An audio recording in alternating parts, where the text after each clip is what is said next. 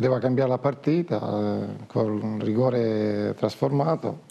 Ci sono due ingenuità di due ragazzi, uno è di Falle e l'altro è di Sartori. Quindi Sartori ci, da, ci ha dato quel, quel, brio che ci aspettavamo di creare qualche situazione favorevole, l'ha creata.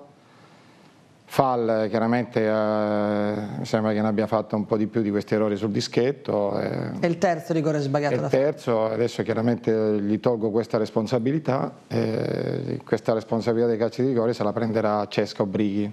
La partita è stata condizionata dall'episodio e abbiamo cercato di, secondo tempo di rimettere, di riaprirla con quell'occasione di Nigro che mancavano ancora dieci minuti, però dobbiamo dare di più, dobbiamo fare di più e siamo ancora malati, non sono riuscito ancora a guarire questa squadra, però c'è ancora tempo per, per poterla mettere a posto. È chiaro che con l'arrivo di Nicastro mi permette anche di eh, fare un sistema di gioco che magari conoscevano molto meglio prima che l'hanno fatto per tanti mesi.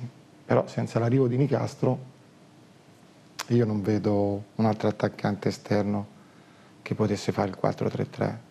Questa è un'analisi che ho fatto, poi si può fare tutto, però quello che conta non sono tanti numeri, ma è la testa.